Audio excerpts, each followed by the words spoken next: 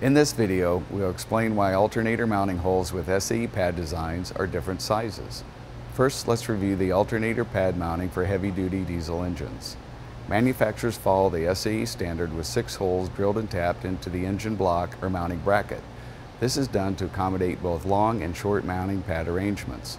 Equipping the engine with both mounting types allows for flexibility during assembly and throughout the service life.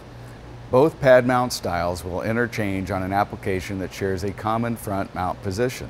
The pair of tapped holes closest to the drive belt will always be used to properly secure and align the drive end and pulley to the accessory belt system. They are spaced 190 millimeters apart. The pair of back holes will allow for either a short or long pad mount alternator. Now let's discuss why we have two alternator mounting hole sizes. First, the small mounting holes in the drive end are intended to be tight to the mounting bolt. This ensures proper pulley alignment, which is essential for belt life and system reliability. The other end has larger holes to allow for variations in the bracket and alternator assembly. These holes are mainly for securing the alternator in position.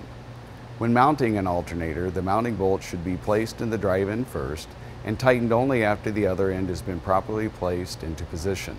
If you have any questions, visit us at delcoremy.com or contact us at the number listed on the screen.